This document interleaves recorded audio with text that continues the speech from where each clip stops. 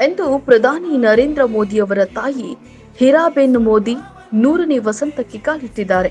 ಈ ಹಿನ್ನೆಲೆಯಲ್ಲಿ ಪ್ರಧಾನಿ ಮೋದಿ ತಾಯಿಗೆ ಪತ್ರ ಬರೆಯುವ ಮೂಲಕ ಶುಭ ಕೋರಿದ್ದಾರೆ. ಅಮ್ಮ ಎಂಬುದು ಕೇವಲ ಪದವಲ್ಲ, ಆದರೆ ಇದು ಭಾವನೆಗಳ ವ್ಯಾಪ್ತಿಯನ್ನ ಸೆರೆ ಹಿಡಿಯುತ್ತದೆ. ಇಂದು ಜೂನ್ ಹದಿನೆಂಟು, ನನ್ನ ತಾಯಿ ಹೀರಾಬಾ ನೂರನೇ ವರ್ಷಕ್ಕೆ ಕಾಲಿಡುವ ದಿನ. ಈ ವಿಶೇಷ ದಿನದಂದು ನಾನು ಸಂತೋಷ ಮತ್ತು ಕೃತಜ್ಞತೆಯನ್ನ ವ್ಯಕ್ತಪಡಿಸುವ ಕೆಲವು ಆಲೋಚನೆಗಳನ್ನ ಬರೆದಿದ್ದೇನೆ ಎಂದು ಪ್ರಧಾನಿ ಮೋದಿ ಟ್ವೀಟ್ನಲ್ಲಿ ತಿಳಿಸಿದ್ದಾರೆ.